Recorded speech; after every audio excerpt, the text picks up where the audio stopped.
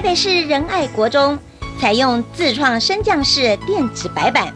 及时做分组学习，利用可吸式小组电脑与主机连线，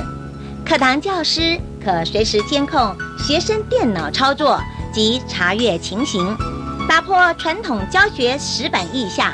让国中学生也能从快乐中学习。很很多学校呢都有很多的这个深化科技应用的这个措施哈。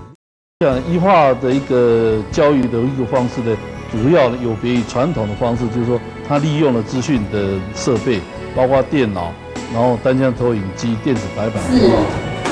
它让以前老师有时候很难讲解清楚的地方，它用这个多媒体的方式来呈现。电子白板比以前的普通白板让我们教学更生动，也更方便。